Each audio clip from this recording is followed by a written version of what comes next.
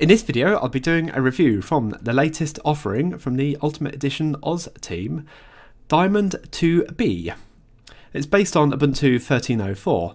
Now, I remember the distros from the Ultimate Edition Oz team, I think it was one of the first ones from when it was based on Ubuntu 10.04. And I thought, yeah, it's a really nice, colourful distro.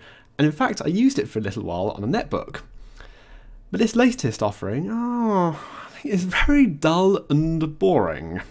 Yes, they've done a lot of nice custom artwork, but the default theme would be a grey background, a grey theme, and the black icons. It doesn't do it for me.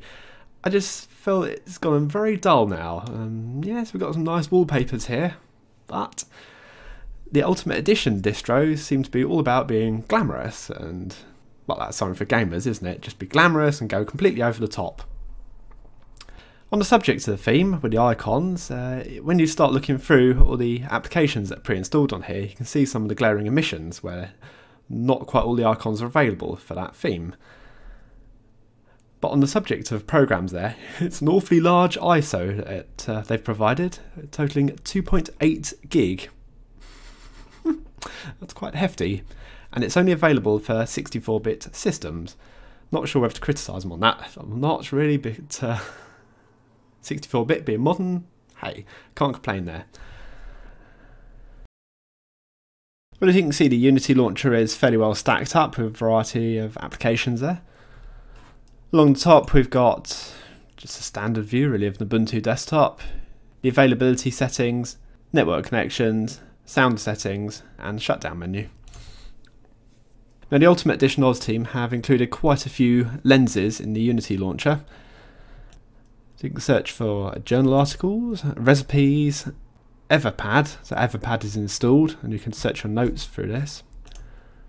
Medicines, our music collection, news, our photos, torrents, hmm, videos, and Wikipedia.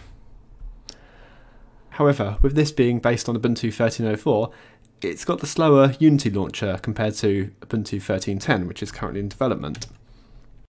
But at least there's one lens that's missing off this, and that's the Amazon searcher. Quite a useful thing to uh, get rid of. Let's see what we could search in Wikipedia.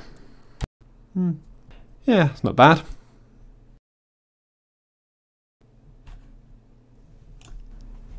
There's a couple of different themes included. So you've got this, yeah, the grey one, which I mentioned about earlier, that's rather dull. And you've got this dark one. Yeah, I think that's one that kind of looks a bit better. The icons aren't really much different to what we get included with Ubuntu. There's a couple of different selections included though. I'll leave it as its default. It cursor's no different and nothing else is that different there. Hmm. So really the only other thing we could say about this distro is it has quite a lot of applications, um, so let's just take a look through them, because otherwise it's pretty much just like Ubuntu 13.04.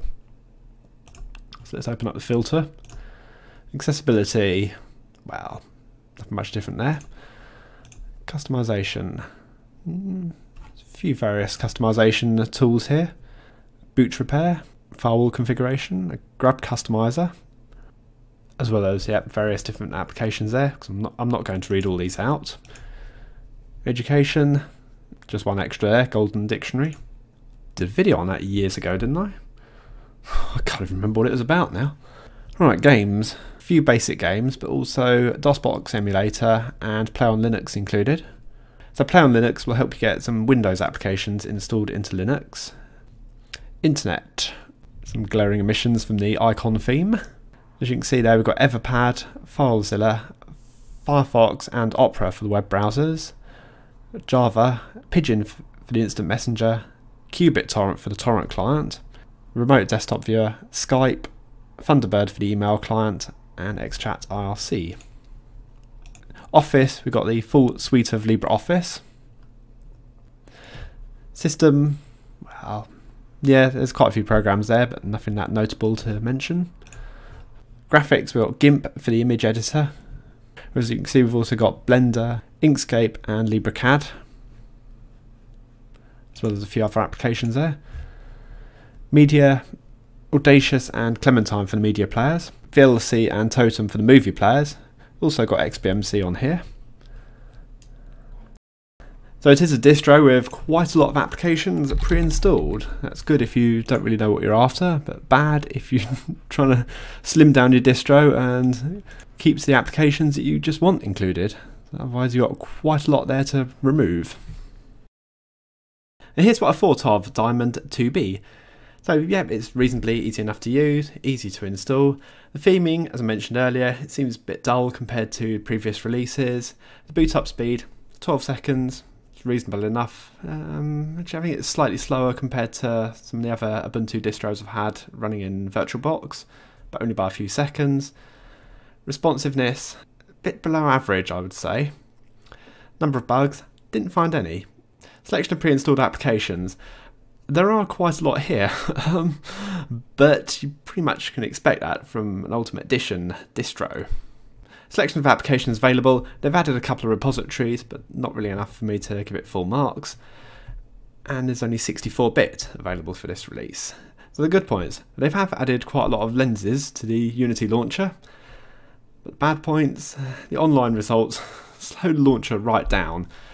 It's more prominent in VirtualBox than it would be on a real distro, so it's perhaps not a fair review of it in that respect. Um, and also, with the short support time of Ubuntu 13.04, there's only six months left now from the point when I'm reviewing the distro. So overall, I've given it 70%. So thanks for watching. See you later.